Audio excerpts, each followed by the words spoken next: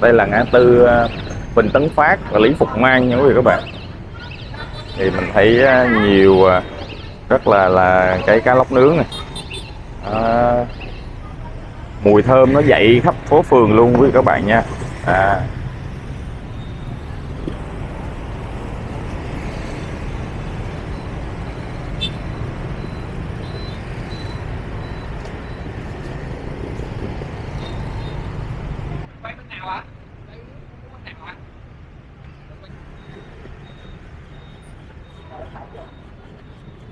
này là mình nướng trước hay sao rồi anh? À, thường à, ngày mai bắt đầu à, người ta mua nhiều. Nướng à, bán bình thường. nướng bán bình thường á hả? Tại quán mình ăn ngồi ngồi ăn. À này hoạt động thường ngày mình bán cá lóc nướng vậy luôn hả? Đúng rồi. Dạ, sao? dạ. con con nhỏ con lớn lấy con về hồi về là biết liền cá lóc nướng mía nha quý vị các bạn. Lấy con lấy con trăm hai ha. Lấy con trăm hai. Về ăn.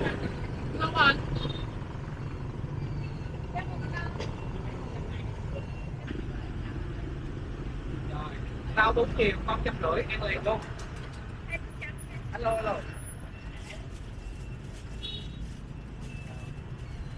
Con trăm hai.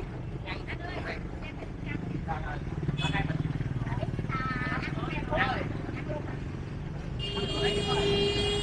Bên đây trăm rưỡi con ăn còn đâu. không bự á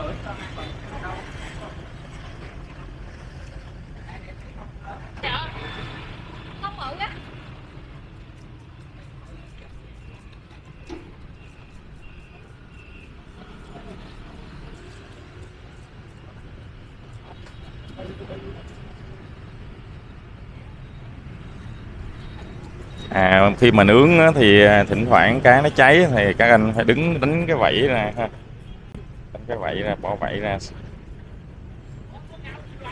Sau đó nướng lại cá nó vàng ươm luôn. Thôi rồi, thôi được rồi, được rồi, Dạ, dạ, dạ.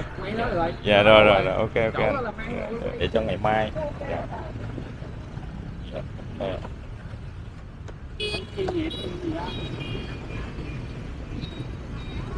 đây là ở bên cái ngã ba người hình Tuấn Phát với Lý Phục Mang nha quý vị các bạn. Hình Tuấn Phát ở quận 7 à,